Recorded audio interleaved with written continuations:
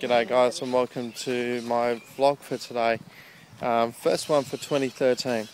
Uh, today Emma and I are in the wonderful, gorgeous Kings Park, um, which is right in the centre of Perth.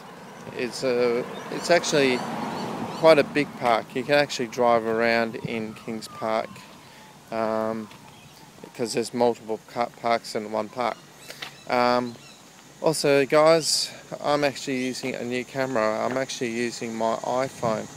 Now as you guys might have known, Emma and I went to Tasmania um, earlier part of this year and I went to, both of us were in the, um, unfortunately, um, we're in the fire prone areas of Tasmania and that's where my old trusty Nokia mobile phone died. So I've upgraded my phone to a brand new iPhone 4 when I was in Sydney. So guys, anyhow, as I always say, I'll see you on the web and please enjoy our video of Kings Park.